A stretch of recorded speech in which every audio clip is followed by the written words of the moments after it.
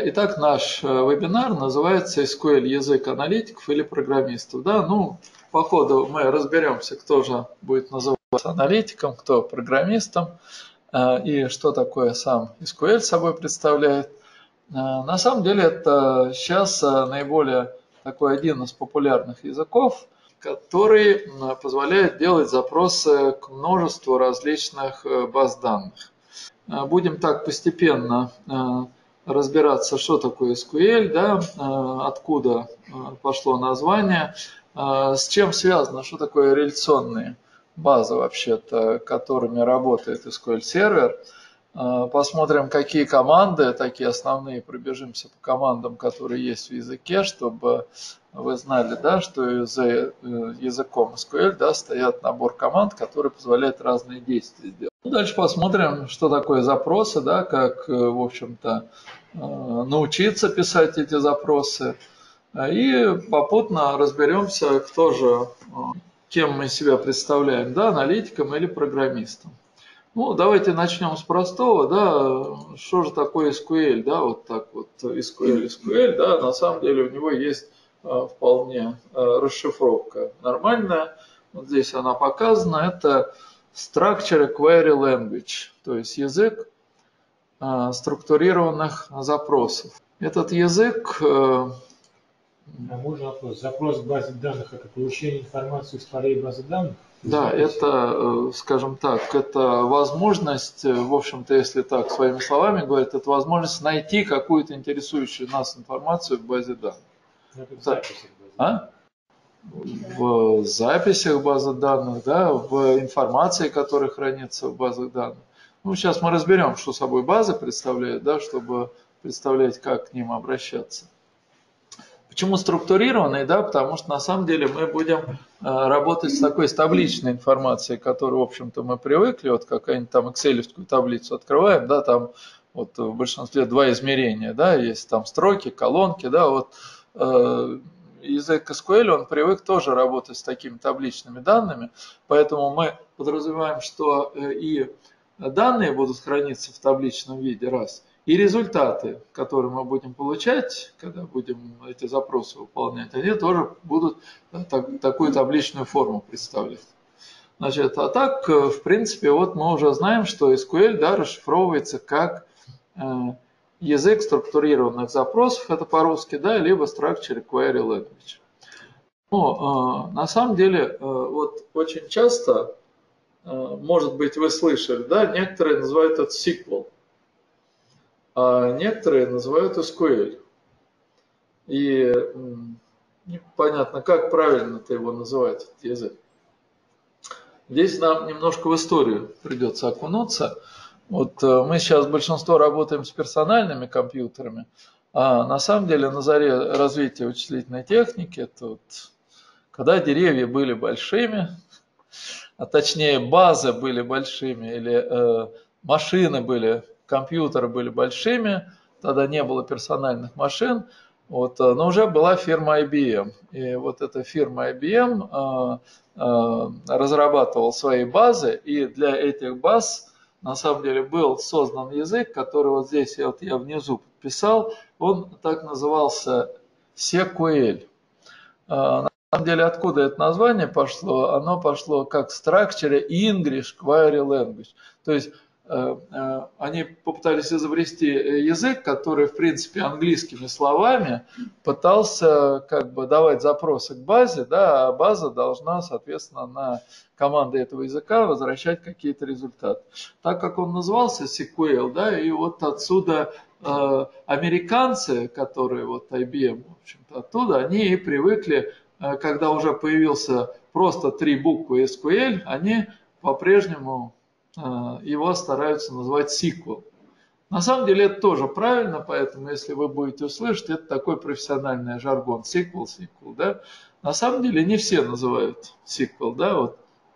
Опять же, это географически, если вы поедете куда-нибудь в Англию или там в ту же Канаду, они там говорят SQL, Поэтому, казалось бы, да, вроде вот как бы мир такой, да, но вот э, на самом деле название. Поэтому правильно и так, и так. Поэтому смело называйте sequel, смело называйте SQL, да, и так, и так будет правильно.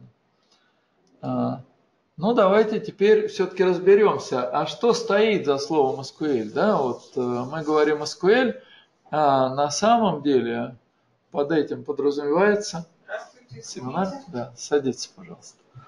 А, под этим а, подразумевается а, несколько таких основополагающих понятий. И прежде всего, когда мы говорим SQL, мы говорим про реляционную модель хранения данных. Сейчас разберемся, что такое реляционное, а может быть кто-то мне подскажет, что это такое. Такое понятие на слуху же, да, реляционная, реляционные базы, да. На самом деле, э, как ни странно, реляционные это не единственный э, возможный формат хранения данных, да, поэтому есть иерархические данные, есть сетевая модель хранения данных, есть объектно-ориентированные базы, есть так называемые многомерные базы, OLAP так называемые базы. На самом деле их очень много. Но SQL применяется именно к реляционной модели. И вот большинство современных, опять же, таких известных производителей э, вот этих вот СУБД, да, СУБД это система управления базами данных, Э, такие как Microsoft, э, Oracle, там, Seabase, та же IBM, они все работают с реляционными базами данных. Что же собой представляет реляционные базы данных? На самом деле это все очень просто. Это когда наши данные вот, хранятся, откуда пошла эта система. В свое время был такой математик Код, и вот он эту реляционную э, теорию разработал. Да, она основана на математической теории множеств. Ну вот э, множество структурированное у нас будет, множество, которое представляет собой плоскую таблицу, вот, э, в которой есть два измерения стройки, которые показывают экземпляр чего, какой-то отдельный элемент чего-то, да, и колонки, которые являются атрибутом чего-то, да. Поэтому мы говорим, что вот в реляционной модели мы храним э, данные в виде плоских таблиц, а каждая таблица представляет собой описание какого-то объекта. Ну, например, там, не знаю, э, э, клиент, да, клиентская база, значит, каждая строка – это отдельный клиент. Каждый колонка этой таблицы – это какой-то атрибут клиента. У него там может быть имя, фамилия, отчество, там дата рождения, там должность и так далее. Да? Поэтому вот э, представление информации в виде плоских таблиц. Но реляция, да, это какие-то подразумевает связи, да, между таблицами. То есть, в принципе, э, вот эти связи действительно хранятся. Почему? Потому что в плоской модели очень трудно вот в одной такой большой таблице хранить информацию обо всем. Поэтому, э, когда вот создаются разработчиками вот эти реляционные базы, они создаются так, что в одной таблице, например, хранится там информация там, о, о пользователях, у другой там э, о сотрудниках, третья о э, там, заказах, которые делают там пользователи или клиенты. Но все это распределено. Но Э, когда мы хотим какой-то отчет получить, мы стараемся соединить эти таблицы, из одной взять фамилию сотрудника, из другой там взять э, номер заказа, из третьей там э, фамилию клиента, который заказал этот заказ. Да? А так это все хранится в виде отдельных объектов, которые вот представить, как это хранится, сейчас я могу показать вот на такой картинке. На самом деле такая картинка, ее можно назвать, э, скажем так, структурой э, э, таблицы или структурой базы. Да? А, здесь видно, что, например, в нашей базе существует, вот каждый этот треугольник, квадратик – это отдельная табличка. Допустим, у нас есть какая-то база, где хранятся заказы. Вот Э, здесь у нас такая таблица orders есть, да, э, здесь я говорил по горизонтали, да, а здесь наоборот как бы показано, да, э, но это не меняет сути, да, вот то, что здесь вот прописано, это на самом деле колонки. Это атрибуты, которые имеются у заказов. У заказов там есть Сейчас. Например, может существовать там номер заказа, да, вот, order, да, может информация о кастомер, только о клиенте, который этот заказ сделал, да, может информация о сотруднике, который оформил этот заказ. Обязательно дата заказа фигурируется там. Может еще несколько дат, да, которые говорят, когда она должна быть доставлена, когда она должна быть выгружена и так далее, да. Можно быть указан, э, скажем так, э, город или там э, страна, в которой должен предназначен заказ, да, и так далее. Это все атрибуты отдельного элемента. Но Смотрите, вот по этой таблице orders я, например, не могу сказать фамилию э, заказчика, да, но зато есть поле Customer ID, да, которое позволяет мне э, вот по этому полю обратиться к таблице, э, вот не туда пошел, сейчас мы пойдем правильным путем. На самом деле, если мы пойдем вот сюда, вот в эту табличку, да, есть таблица Customers. На самом деле, по этому Customer ID я могу найти там, контактные фамилии, там, адрес этого клиента, да, город, в котором он проживает и так далее. Если я, например, хочу, наоборот, найти сотрудника, который оформил заказ, я пойду в другую таблицу, вот сюда, да. И вот то, что здесь нарисовано, обратите внимание, здесь, видите, стрелочки такие показаны между таблицами. С одной стороны стрелочки нарисован, я крупно нарисую вот такой значок – перевернутая там восьмерочка, а с другой нарисован вот такой вот ключик желтенький. И вот э, как бы вот эта связь между э, вот этой восьмерочкой, которая на самом деле у математики называется символ бесконечности, связана с ключиком, который называется один экземпляр. Это означает, что вот эта вот связь между этими таблицами происходит как один ко многим. Почему? Потому что, например, один сотрудник может сделать много заказов. Но в таблице сотрудников каждый сотрудник, каждая строка – это уникальный сотрудник. Так же, как э, соотношение между э, таблицей клиентов и заказов тоже один ко многим. Да? Здесь один, здесь вот n, бесконечность. Э, поэтому мы можем сказать, что мы имеем одного, сотруд... одного клиента, да, который может сделать несколько заказов. Один ко многим. Ну, здесь вот и другие таблицы есть, да, вот в заказе, например, не фигурируют, какие товары сделаны в этом заказе, да. Для этого есть другая таблица, детализация заказа. Вот как чек мы из магазина выносим, да, там написано, там, такой-то продукт в таком-то количестве купили, по такой цене, да, второй продукт. Но чек иде, один номер имеет. Вот этот номер чека и есть номер заказа, да. А. Но, например, в чеке может э, не продукт фигурировать, а цифра, да, вот, по которой я должен угадать, что это такое, это мясо или молоко или там еще что-то, да. Поэтому есть связь с таблицей продуктов. А в таблице продуктов каждая строка – это уникальный продукт.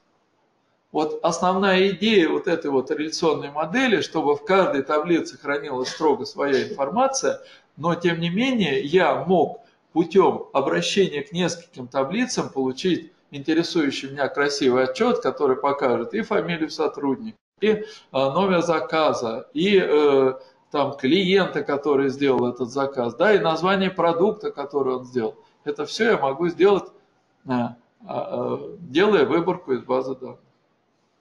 Значит, вот эта реляционная модель на этом строится. То есть, по сути дела, реляционная модель, вот когда мы научимся писать селект-запросы, если мы их пока еще не...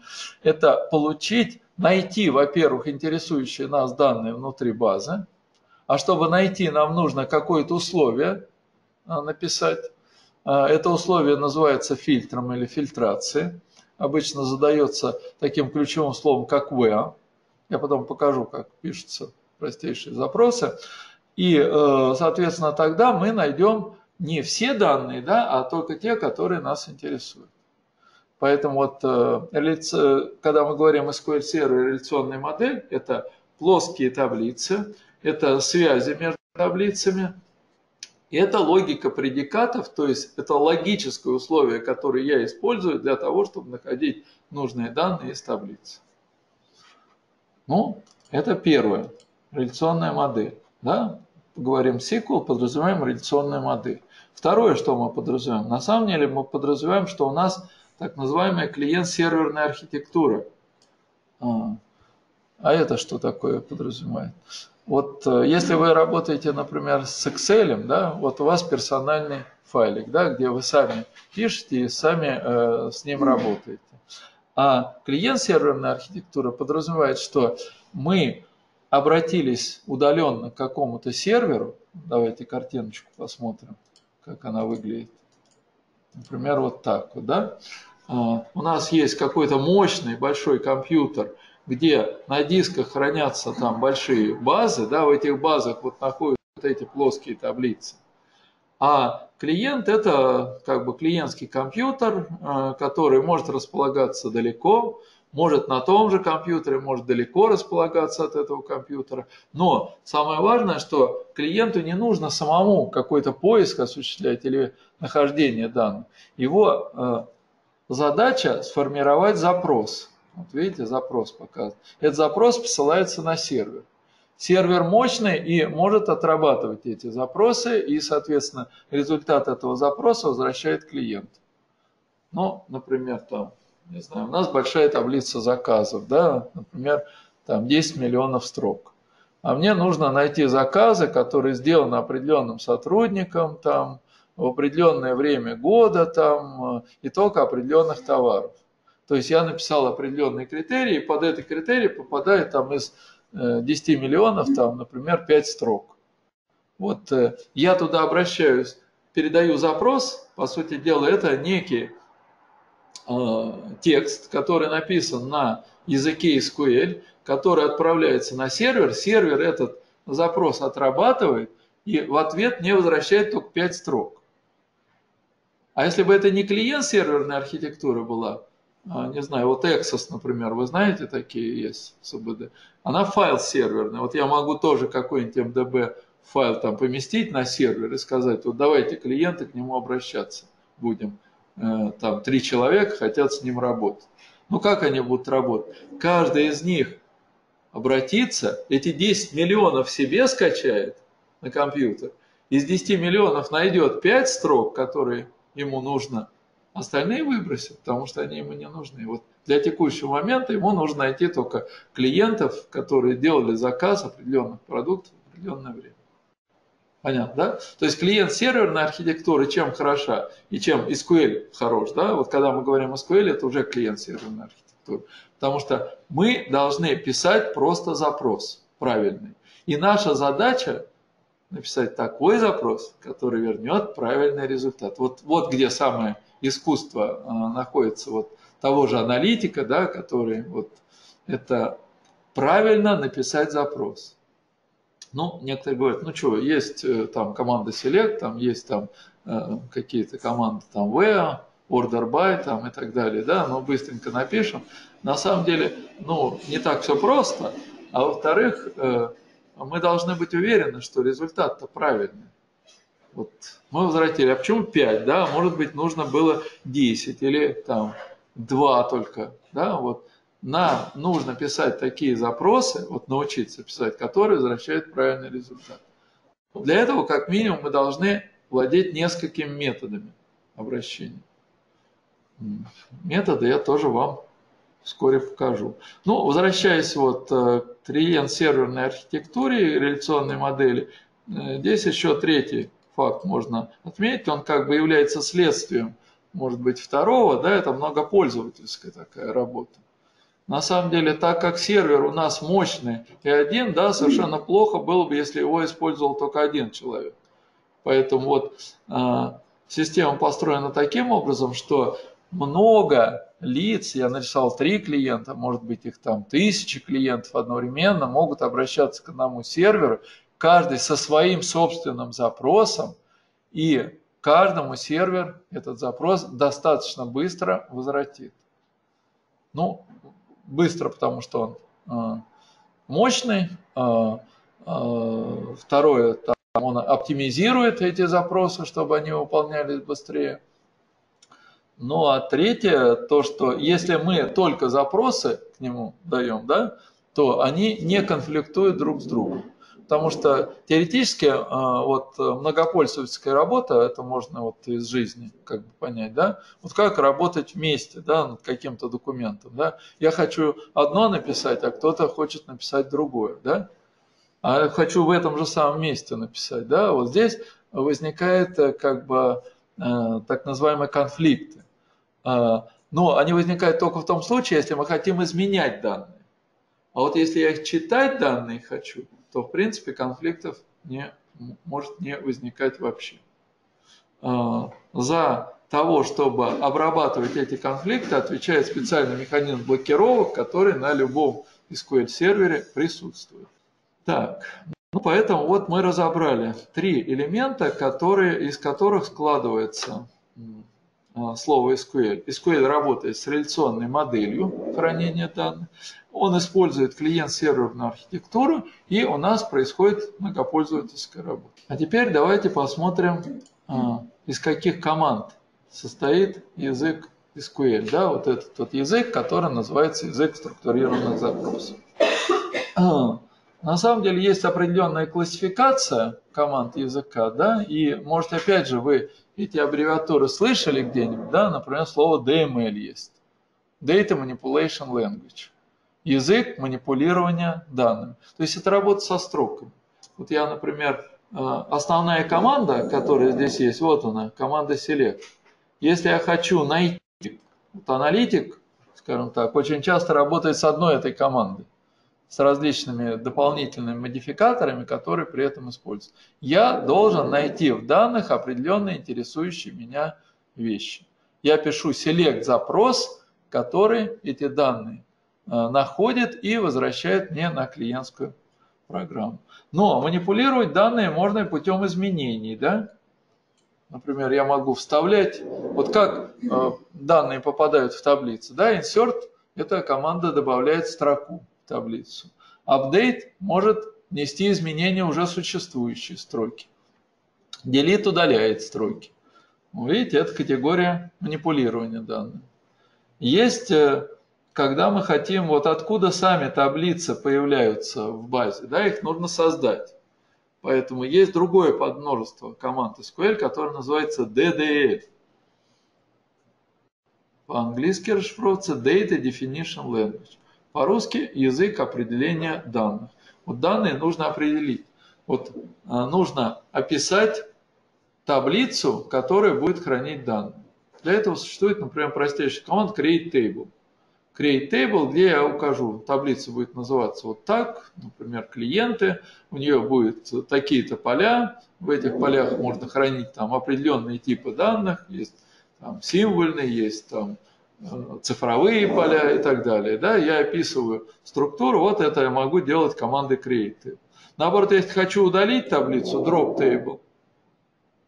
Если я хочу изменить уже существующую структуру, например, я забыл э, для сотрудников колонку зарплат в начале. Могу написать команду alter table, add column, добавить колонку, и появляется еще одна э, колонка в структуре таблицы. То есть эти команды могут работать со структурой. Есть подмножество команд, которые позволяют давать разрешение на работу. На самом деле, вот SQL сервер, да, это не просто такой вот хранилище для коллективного доступа, да, он на самом деле а, определенные ограничения там установлены, как любая а, база, да, которая хранят какие-то данные, она защищает свои секреты, поэтому вот а, администраторы а, могут давать кому-то право select, только выборку, кому-то insert, кому-то create table, да? Вот это дается специальными командами, которые называются grant, это дать право. Deny – запретить. А revoke – это раньше дал, а потом хочу отнять обратно. Поэтому вот есть э, команды, которые позволяют с разрешениями работать. Называется это подробство DCL. Видите? Data Control Language – язык управления данными. И, наконец, э, последняя такая категория, которая исключительно для тех, кто вносит изменения. Вот тоже, может, вы слышали такое понятие транзакции. То есть, на самом деле, э, вот любая база, если в нее вносятся изменения, они вносятся не просто так, а через э, транзакции. А что такое транзакция? Транзакция – это некая неделимая операция, которая либо выполняется целиком, либо целиком не выполняется. Ну, классический такой пример, да, я хочу там в банке, например, с одного счета перенести данные на другой счет. Я не могу вот, э, написать это двумя отдельными командами, потому что если первую я напишу снятие со счета, да, а потом у меня с ошибкой завершится э, значит, помещение на другой счет, они как бы исчезнут со счета и никуда не попадут. Или наоборот, я поместил на счет, но неизвестно откуда их взял. Первая команда не отработана. Да? Поэтому вот две команды снятия и помещения на счет, они должны работать как единая транзакция. Либо и снятие, и помещение сработает на счет другой, либо они обе не сработают. И вот это называется транзакция, это называется транзакционная обработка. Для управления транзакциями существуют специальные команды begin transaction, commit transaction и команда rollback transaction, которая позволяет возвратить транзакцию в исходное состояние. Вот что-то завершилось аварийно, мы все, что даже успешно завершилось, опять в исходное состояние возвращаем. Вот это такая э, классификация команд, которые все команды. Э, но на самом деле я э, вот данный курс как бы все-таки ориентирую на лиц, которые больше все-таки работают именно с манипулированием данных и даже прежде всего Э, с генерацией отчета с выборки, потому что с него и начинался SQL, да, вот недаром я обвел слово select. Select это команда, которая позволяет нам найти интересующие данные внутри базы. И поэтому вот э, SQL иногда называют языком аналитиков. И э, когда это говорят, они подразумевают на самом деле команду select в этом языке. Потому что с помощью команды Select она может быть и простая, и сложная, у нее есть разные там э, дополнительные ключики, можно найти нужные, интересующие нас данные. Собственно, это прежде всего и интересует как самого аналитика, так и там, руководство, которое дает ему задание там, получить соответствующий отчет, да, написать правильный селект-запрос. А, при этом аналитику, который работает, вот кроме селекта, по сути дела ничего не нужно. Вот он должен грамотно уметь писать запросы. А, грамотно в том смысле, что получать нужный результат. И это немаловажно. Это на самом деле не вот как бы может быть не просто оказаться на первый взгляд, если я там напишу вот, а, а напишите мне запрос, который вот возвращает там три самых любимых товара определенного там, всех покупателей, да, для каждого покупателя там напишите три их самых любимых товара. А можно придумать какой-нибудь сложный запрос, да, вот найдите товары, которые продавались в определенное время, а, значит, или какая скидка на товары, которые продавались в определенное время определенными продавцами и так далее. То есть запросы бывают э, разные по... Вот то, что я сейчас на самом деле формулирую, это как раз то, что э, идет на вход аналитика. Аналитик получает запрос вот на таком бизнес-языке или на человеческом языке, да, которым описывается определенная ситуация. Когда же мы работаем с базами данных, на самом деле мы работаем с таблицами, с колонками. И э, вот когда аналитик получает запрос вот на человеческом языке, он на самом деле должен преобразовать его в инженерный язык, э, он должен представлять, в каких таблицах реально хранящаяся в базе нужная информация хранится, как эти таблицы можно соединить или там объединить, или там, э, значит, э, из одной таблицы сделать выборку, которая использует другой таблицы. Вот это, собственно, важная задача. А, ну, она и обратную сторону имеет, да, вот э, аналитик получил какой-то селект запрос, вот он у него написан там на странице, а начальник спрашивает, а что ты здесь написал-то, я не понимаю. Он должен обратное преобразование идти с инженерного языка, да, на котором написан запрос, сформулировать его на человеческом языке, что, собственно, да, нужно получить. А, значит, я хочу сказать, что а, вот мы учим аналитикам, аналитиков в нашем учебном центре, но язык, вот язык, да, подразумевает, как вот иногда говорят, язык программирования, да? Вот является ли SQL языком программирования? Ну, наверное, вы, наверное, слышали, что э, там есть такие нормальные языки программирования, не знаю, Pascal, Basic, там, э, C, там, C++, там и так далее. Да, это вот такие. Э, SQL, он с ними не конкурирует. Он не является языком вот, программирования, как в классическом варианте понимания, да, потому что его задача была работать с реляционными базами, его задача формулировать тот запрос к базе, который получит э, правильный результат. Поэтому иногда говорят, что язык SQL это декларативный язык. Вот я не хочу сказать SQL серверу, там, пойди туда, достань то-то, э, прибавь к этому, найди еще чего-то, да, а, там, посмотри какой-нибудь индекс, да, который тебе поможет сделать. Я не говорю ему. Я говорю, я хочу получить вот такой результат. То есть я декларирую фактически э, то, что я хочу получить. А вот э, SQL сервер, да, сервер, получая этот запрос, он как раз должен э, понять, как его выполнить, как его выполнить наиболее быстро, эффективно и так далее. Вот он подключает там индексы, там еще чего-то, да. Поэтому вот если я напишу на каком C++, хотя он мощный, может быть, язык программирования, он не сможет сделать мне такое же действие, как язык SQL. Хотя с точки зрения программирования он как бы попроще.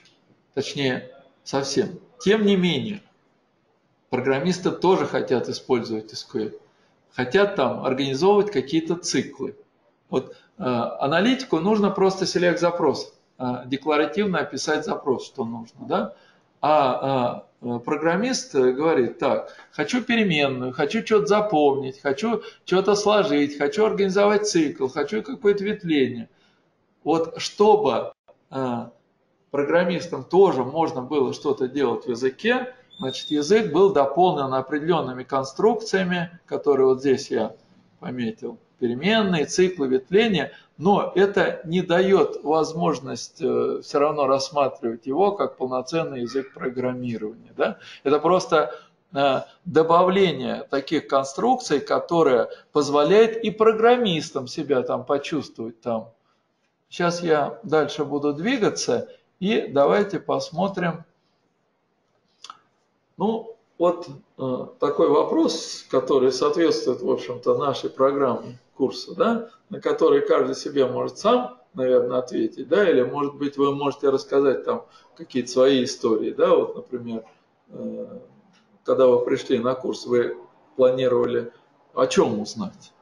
Или, скажем так, в чем стоит задача с вами, когда вы э, слово искуете? Ага. Но я понимаю, что для аналитики мне нужно знать структуру базы, угу. чтобы составить правильный Значит, э, нет, чужой базы не получится. Конечно, конечно, конечно, конечно. Значит, поэтому аналитик это не то, что который пришел и говорит, так, вот там что-то лежит непонятное, да, в кучке, да, я сейчас из него сделаю выборку. Конечно, самое первое для аналитика – это представление об информации. Другое дело, у него нет задачи создавать эту информацию, создавать эти структуры. Он должен понимать, какая информация хранится в базе. Да? Вот когда я вам вот эту картинку а, как бы связи между табличками как бы показывал, да, по сути дела, вот это вот представление информации уже в табличном виде, которая там хранится. По ней можно сделать Раз есть заказы, у них такие-то вот характеристики есть. Если я внимательно изучил каждое поле, да, я могу знать, я, например, по каким критериям могу находить заказы, да, по датам могу находить, да, потому что там есть дата заказа. Могу по стране, в которой делался заказ, потому что есть информация о стране, да. Естественно, структура информации должна быть нам известна. И поэтому, когда мы, вот если вы пойдете на курс или самостоятельно будете изучать, да, естественно, перед тем, как писать запрос, вы должны представлять, с какой информацией вы имеете дело. Это не чудес здесь не бывает, да, мы э, должны прежде всего знать название таблиц, название колонок, да, вот это уже инженерный язык, который мы уже используем внутри ну, базы. Ну, э, давайте теперь вот о чем поговорим, да, ну, видите, у нас один аналитик есть в группе, кто еще у нас, как себя воспринимает? Я аналитик однозначно. Понятно. Уже писали свои запросы? Э, сложные? Понятно. Так. Я трейдер, специалист по финансовым рынкам.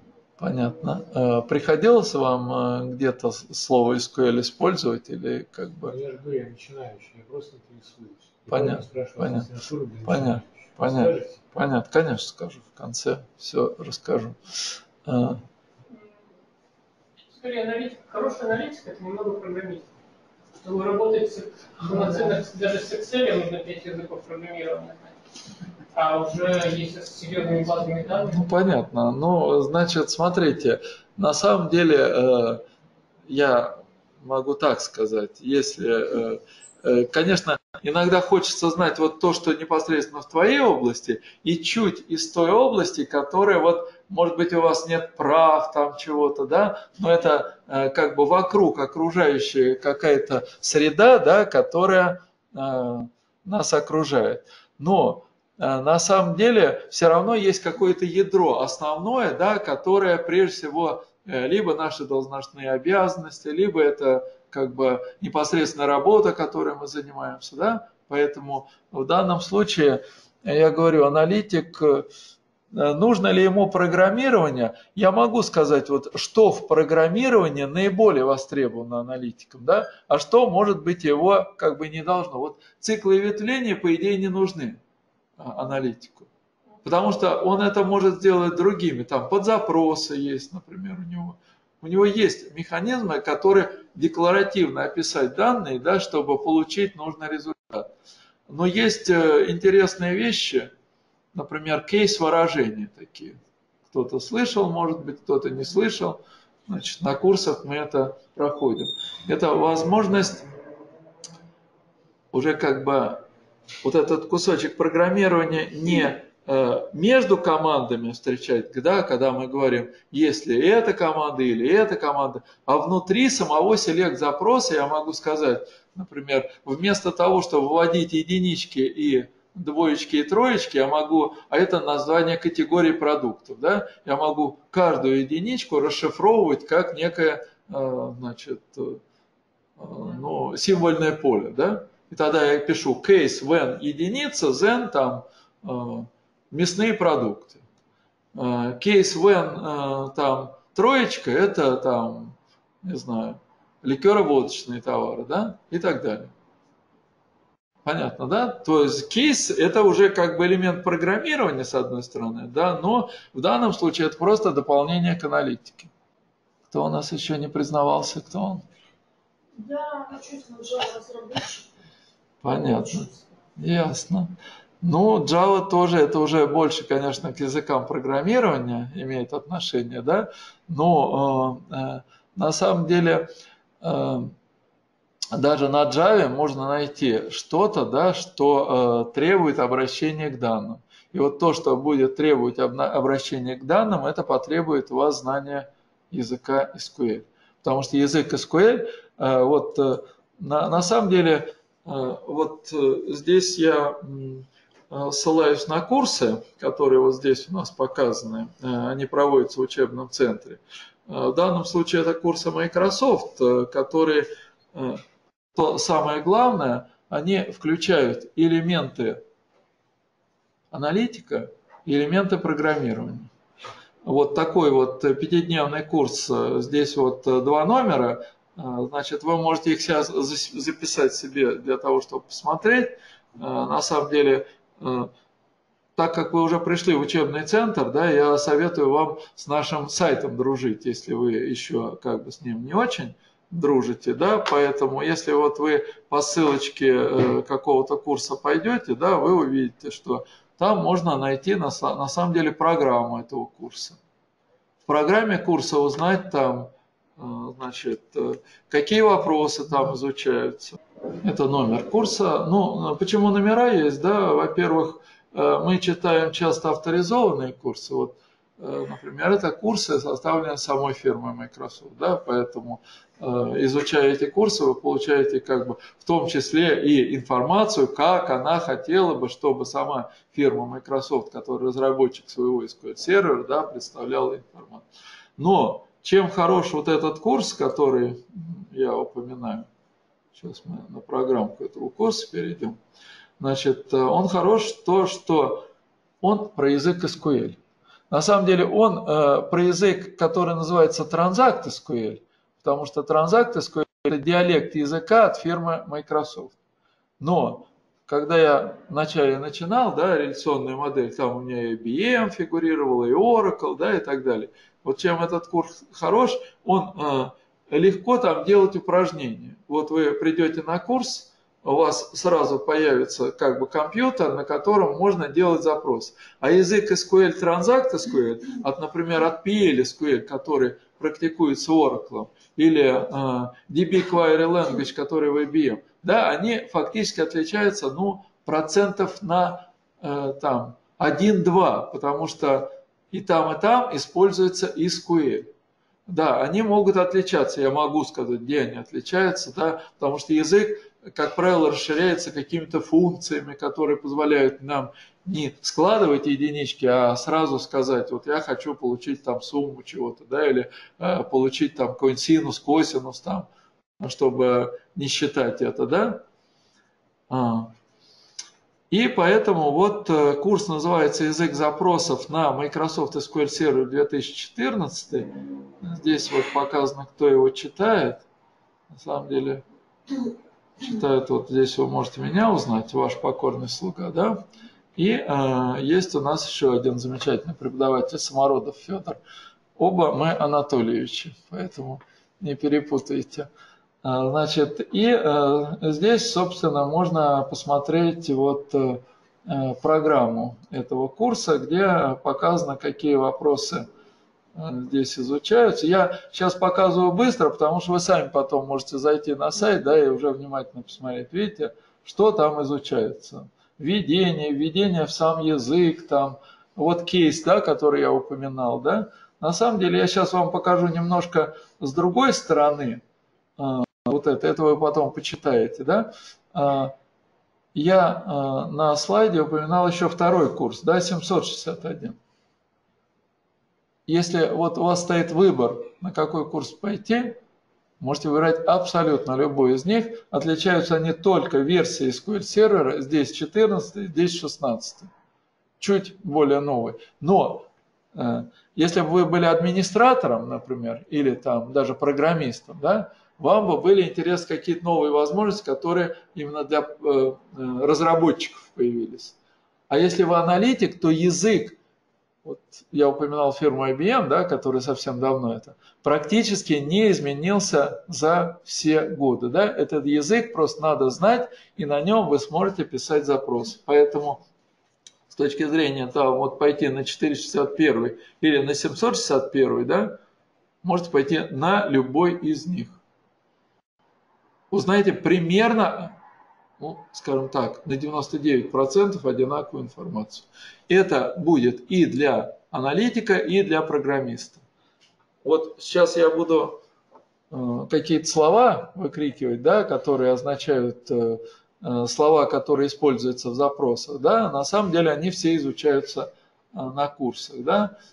Как всегда курс идет от простого к сложному, да, поэтому начинается просто некий простой запрос э, с фильтрацией и сортировкой.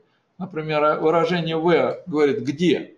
То есть там нужно написать какое-то логическое условие, которое будет определять, найти только где данные, где, например, э, там дата такая-то, или дата между такой-то и такой-то, да, или дата, или там сотрудник, который оформил с такой-то фамилией, да.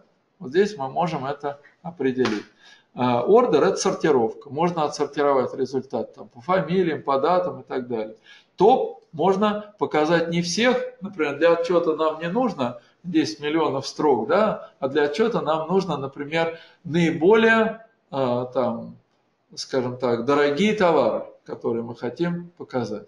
Значит, мы отсортировали их по цене, причем в обратном порядке, да, чтобы вверху самый дорогой был, а потом и сказали, мне показать топ-10 только. Вот я могу легко отфильтровать по количеству строк. А, есть такое понятие, как группировка. Иногда мы, э, скажем так, потребность в этом возникает, да, например, те же заказы есть, да, а э, там каждый заказ оформлен какой-то сотрудник. А вот мне хочется отчет получить, чтобы посмотреть, сколько заказов каждый сотрудник оформил. Вот как это сделать? Я могу сгруппировать по сотрудникам и показать функцию количество строк, которые, заказов, которые вот отдельный сотрудник оформил. У меня получ, получится список сотрудников, а в качестве дополнительной колонки будет показана а, специальная агрегатная функция count, которая покажет количество строк, которые... А можно, например, а, сгруппировать там а, товары по категориям, да, и сказать там, какой товар самый дорогой внутри категории. Группирую. Вот несколько товаров имеет одинаковое значение в поле категории. Я как бы а, превращаю это в одну строку и говорю, вот по этой категории есть разные цены, но я нахожу минимальную цену или максимальную цену. Понятно, да? Это группировка. Видите, там обязательно определяются агрегатные функции. А, есть понятие подзапроса. Вот мы пишем select запросы, а внутри одного select запроса можно другой вставлять. Поэтому я могу сперва написать одним э, запросом, который получает какие-то промежуточные результаты, и не храня их, вот мне не нужно для этого даже переменных. Потому что я получаю результат, и этот результат сразу использую внутри другого запроса. Допустим, я нахожу э, максимальную цену там, э, товара, а потом или нахожу максимальную дату заказа и потом нахожу все заказы, которые сделаны на эту максимальную. Видите, это все. Но давайте я вот сейчас сосредоточу на том, что наиболее полезно изучать. Вот под запросы и второй механизм join, соединение. Кто уже писал хотя бы некоторые запросы и с более чем из одной таблицы, обязательно должны либо с подзапросами, либо с join соединением работать. Как правило, можно одну и ту же задачу решить либо под запросом, либо соединением. А можно и тем, и другим. Вот почему я говорил, у аналитика задача стоит правильный результат получить. То есть мы должны написать такой запрос, который возвращает правильный результат. А вот мы написали одним способом, да, и не знаем.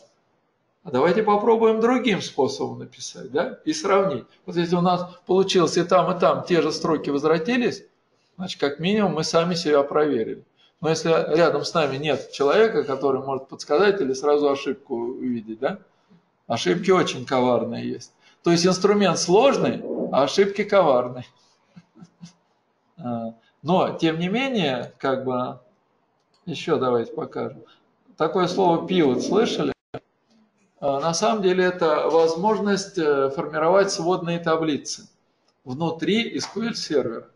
Сводные таблицы – это когда мы, например, э, э, группируем по двум каким-то полям. Я хочу узнать продажи по годам и по странам. У меня это в две колонки идут. Годы, количество продаж и в соответствующей стране. А я хочу, чтобы года у меня по горизонтали шли, а страны по вертикали. А на пересечении года и страны я хочу получить количество проданного товара в этот год в эту страну. Вот это называется сводная таблица. Ее можно легко делать с помощью выражения pivot. А, на тех курсах, которые я вам показывал, изучается сейчас самый современный и мощный инструмент написания запросов, который называется оконные функции.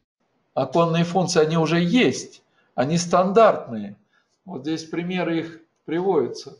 Функции ранжирования, функции агрегирования, функции сдвига и так далее. С помощью них можно быстро решать очень сложные задачи, которые раньше даже не представляли, как решать. Ну, можно создавать промежуточные итоги, да, э, как бы более внимательно посмотрите вот это вот, э, если напишите как бы нам письмо, я вам пришлю, соответственно, вот эту презентацию, и вы ее э, можете почитать. Если бы у кого-то была флешка, я могу сегодня прям сбросить. Ну, на самом деле... А?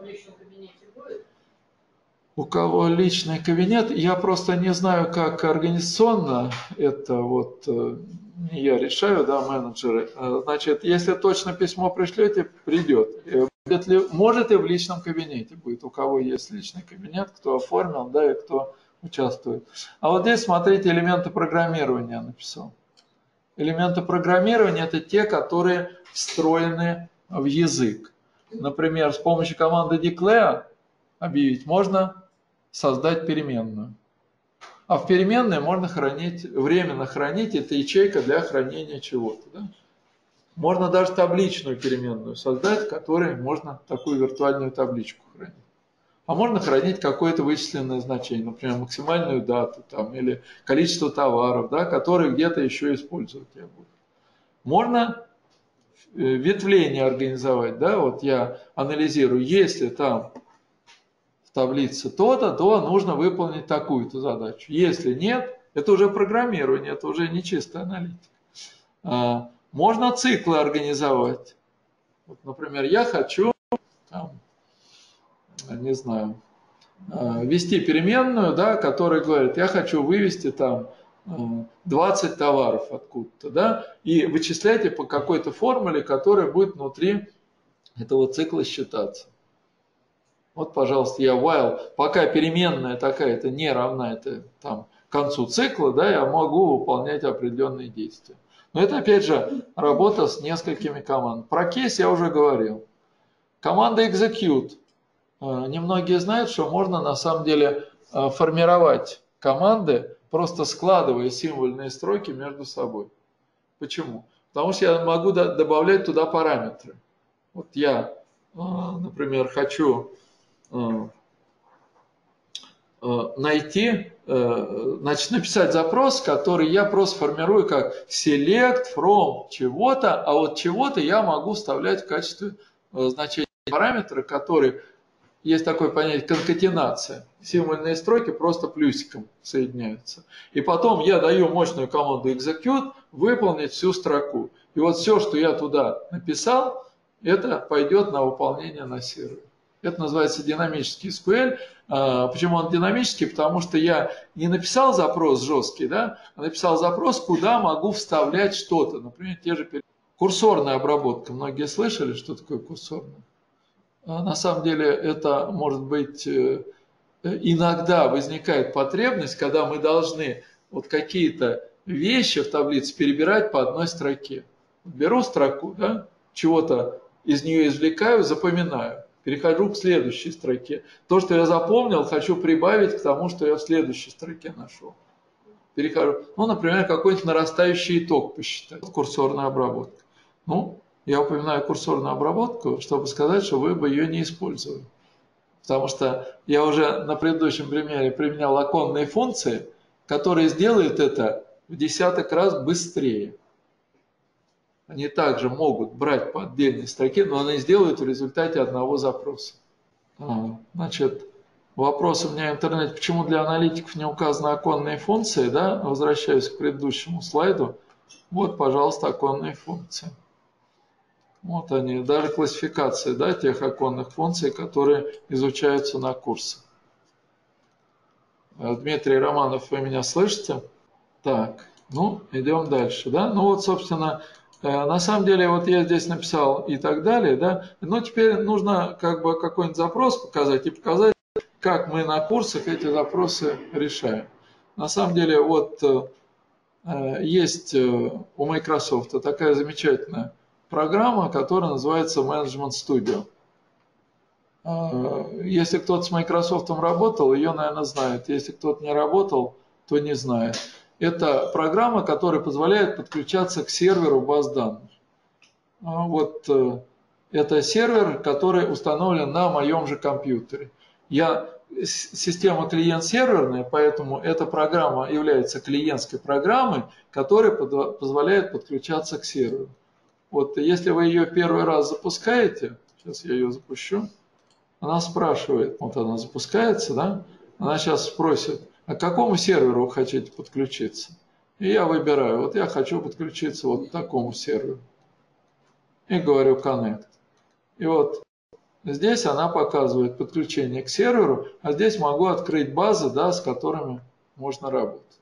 Вот я вам показывал схему базы данных Nordwind, и э, если вы хотите написать запрос, здесь можно, вот, например, сказать, я хочу новый запрос. Вот я пишу query.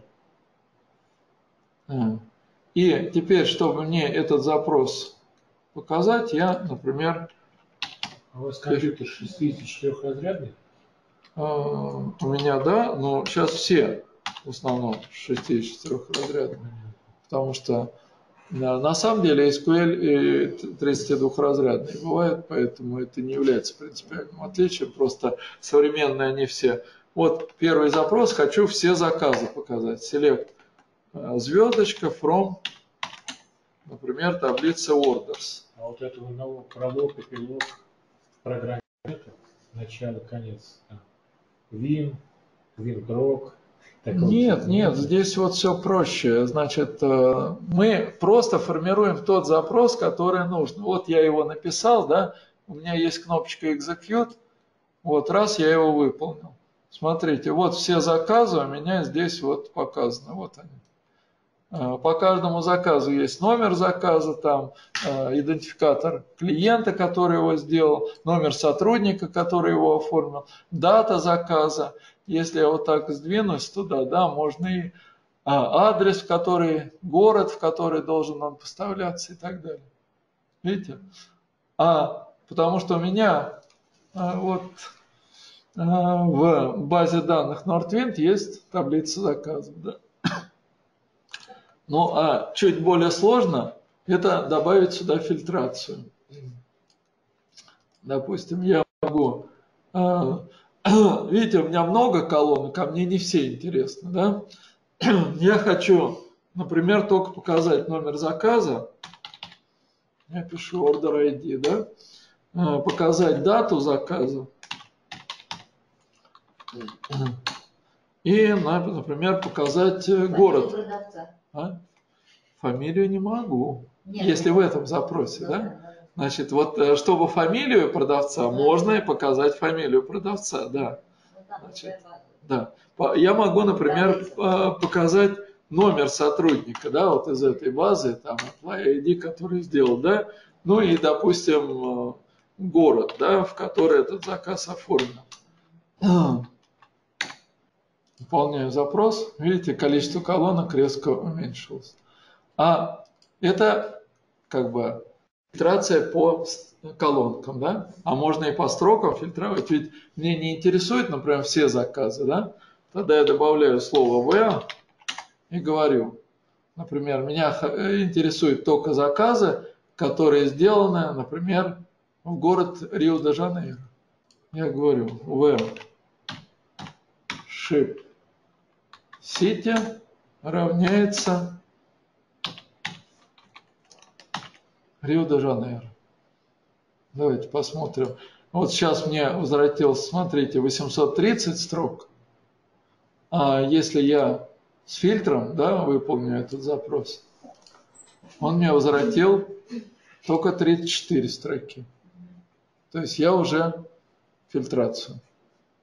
А если, э, скажем так, меня как бы интересует какая-то, вот, например, по номеру сотрудника я хочу отсортировать, да, могу еще добавить сортировку.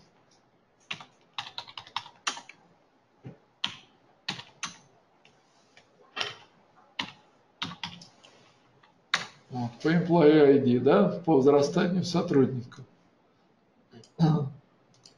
Это уже некоторая группировка, но эта группировка такая, просто вот рядышком они расположены. А если бы я хотел показать, сколько там заказов сделал каждый сотрудник там, да, в Рио-де-Жанейро, я бы вынужден был группировку сделать по этому полю.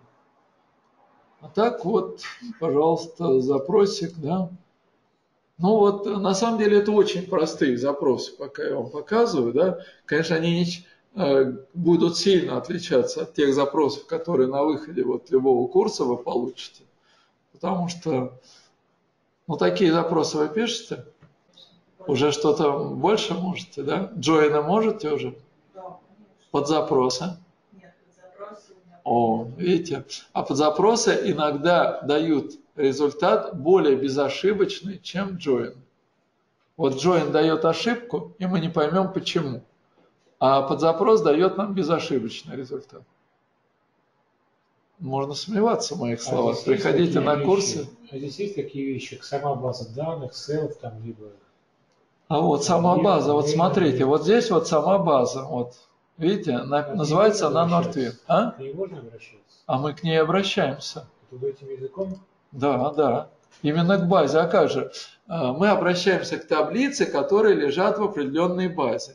Вот если бы я вот здесь выбрал другую базу, да, видите, вот, и попытался выполнить этот запрос, он бы сказал, я не могу найти там каких-то объектов, потому что я не в той базе нахожусь. Обычно в скриптах вы можете увидеть такое выражение use. Например, Northwind. А это что такое? Use это перейти на эту базу. Вот я перешел на эту базу. И теперь, если я сперва выполню вот это, а потом это, то я сперва окажусь в базе Northwind, а потом из нее выполню запрос. А у вас получается таблица уникальная, да, если даже без перехода в базе... А, вы, э, э, значит, почему я пишу orders, а не, например, DB orders, да, вот. Вот, смотрите. А потому что я вот, вот, смотрите, я вот здесь нахожусь, я вот здесь могу базу, вот она у меня вот здесь была выбрана. Поэтому как только я вот эту команду сделал, она у меня стала вот здесь текущей. Я мог бы ее просто вот отсюда выбрать и все вместо вот этой команды. Все. Это мы уже самого интерфейса, да, как бы изучаем возможность. Ну, фактически вот я вам как бы такое, а, ну, я написал такой вопрос, что дальше, потому что на самом деле как бы тот, кто аналитикой занимается, может вырасти там еще в какого-то специалиста, да, э, например, может быть в программиста чистого, да, может быть аналитика с программированием, может быть в разработчика, да, разработчик это кто? Это тот, кто уже вот создает логически, проектирует сами базы и создает структуру этих таблиц и пишет код, который внутри баз будет храниться. Вот э, на тем курсах мы знакомимся Э, с простейшими э, командами, которые, которые существуют вот в базе данных. Мы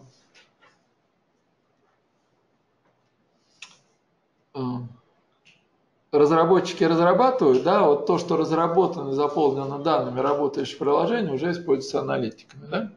Ну, есть еще и администраторы баз данных, да, которые, например, сам сервер могут установить, security определить, да, работы сервера, сделать резервную копию базы, чтобы у вас не потерялась информация, да, экспортировать какие-то данные в excel таблицу, да.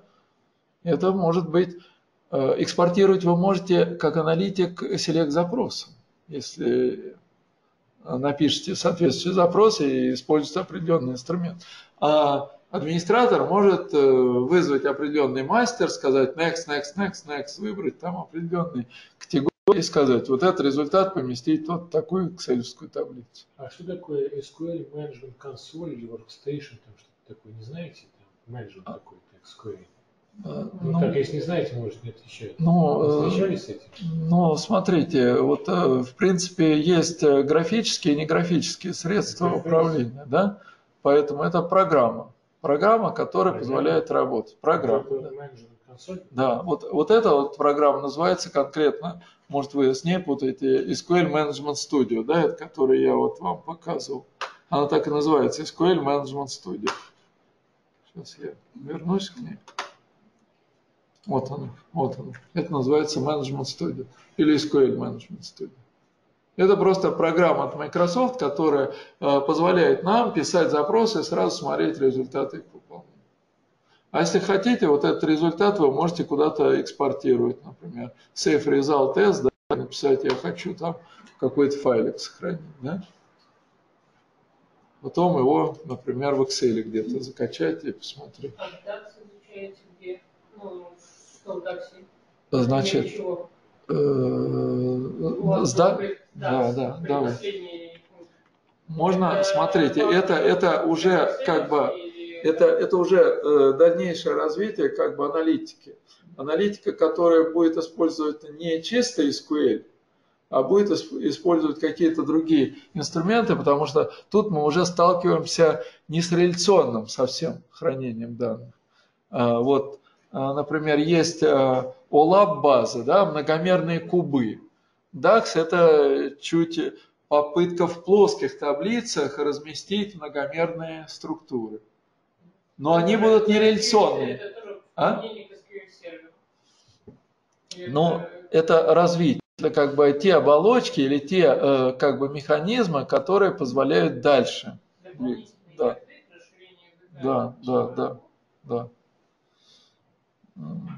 или, можно сказать, специальные инструменты, да, которые позволяют работать именно с такими э, моделями данных. Так, ну, э, семинарчик у нас не очень большой. Здесь вот я ссылочки на наш семинар и на программы курсов оставил. И дошел к вопросам. Значит, э, Сейчас, пока вы думаете вопросы, я э, отвечу на вопрос, э, который у меня в интернете задают. Да? Значит, э, под запрос может быть более затратный для сервера, чем связка таблиц или join. Не соглашусь. Для этого нужно конкретно писать соответствующий подзапрос или же запрос. Что более безошибочный, это точно. Может быть, он будет э, такой же по затратности, а может быть более эффективный. Поэтому вопрос такой. Что такое OLAP? Да, было слово OLAP. Давайте тоже расшифруем. OLAP э, переводится как онлайн анализинг процессинг. Это э, когда мы данные храним не в виде плоских реляционных таблиц, с которыми работает SQL, а в виде многомерных кубов. Слово «многомерный» означает, что вот данные продаж я могу хранить в такой структуре, которая имеет э, куб немножко может вас смущать и думать, что это три измерения, на самом деле их больше трех. Например, n-мерный куб да, может содержать 15 измерений. Э, ну, если такого представить, да, крыша пойдет, э, значит, снесет. А аналитики говорят, о, 15-мерный куб, да, я просто срез сейчас могу делать и по 15 измерениям. Могу посмотреть там продажи за года, за месяца, э, по магазинам, э, по продавцам, по типам товаров. А это хранятся. Но чем куб отличается от обычной реляционной СУБД, там уже хранятся вот эти вот агрегированные значения. Поэтому, если вы напишете запрос, который там считает продажи за месяц, за неделю, там, ну, за год и так далее, все в одном отчете, ваш отчет вынужден будет считать это каждый раз. А куб, он процессируется заранее, том, то есть там вычисляются вот эти агрегатные значения. Поэтому, если я задаю, показать мне статистику продаж по годам там, товаров э, с разбивкой по месяцам, неделям и месяцам. Он не будет их считать. Он из нужных ячеек куба их просто достанет и покажет. То есть тот запрос, который реально бы считался медленно, в OLAP-системе посчитается очень быстро. А когда мы говорим о о онлайн-анализинг процесса, мы это противопоставляем OLTP-систему. слово транзакции мы сегодня употребляли, да, онлайн transactional процессинг.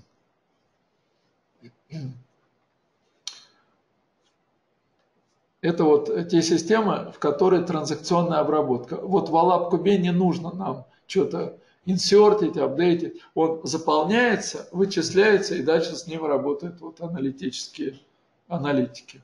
Но аналитики работают не на языке SQL, а, например, на языке MDX. Специальный язык, который там DAX, R, там, Python. Пожалуйста, можно какие-то инструменты, которые приспособлены для работы с такими многомерными структурами. Но начинается все с SQL. SQL даже можно там найти. Вот какая-то часть вот этого запроса, туда вставляем SQL-код, он нам возвращает вот из элементов куба нужные нам информацию на чистом SQL. Поэтому, в принципе, если аналитикой заниматься, конечно, начинать нужно с SQL. Вот когда у вас есть бэкграунд SQL, можно двигаться вот по любым направлениям. А, язык R, кстати, тоже изучается на курсах. Я не привел его в этом списке. И R, и Python, пожалуйста, есть курсы по этим тоже предметам, они тоже имеют отношение к аналитике. Просто у меня а, были более скромные задачи.